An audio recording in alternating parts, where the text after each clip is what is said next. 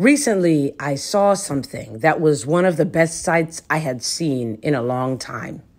As I was leaving a store, there were two men standing outside of it. One man had his hand on another as they bowed their head and he interceded for the other guy. I was moved with so much joy and, and, and spiritual excitement that I just kept saying, bless you, bless you loudly as I walked past them and continued in my heart to pray and, ex- and exalt God for what was taking place right there in front of the store. What is the best thing you have seen in a long time? Has that best thing allowed God to be magnified in that situation. I wish that I could see more of that as I go along.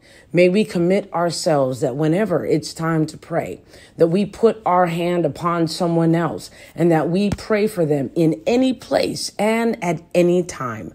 For God shall be exalted and magnified and worshiped, and the chains of Satan shall fall off of people. Amen.